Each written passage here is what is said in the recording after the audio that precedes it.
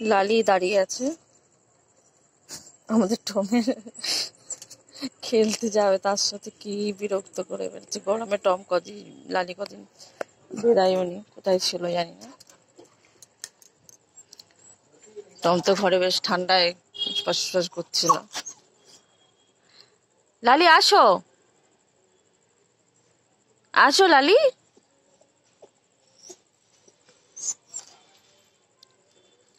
ভাবছে, আসবে কে আসবে না। লালি, আছো?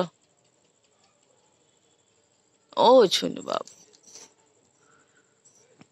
তো আমার সাথে আড়ি হয়েছে কেন লালির আসো আসো, ওদিকে তার আছে, এদিক দিয়ে এসো। রটফট আছে লেগে যাবে।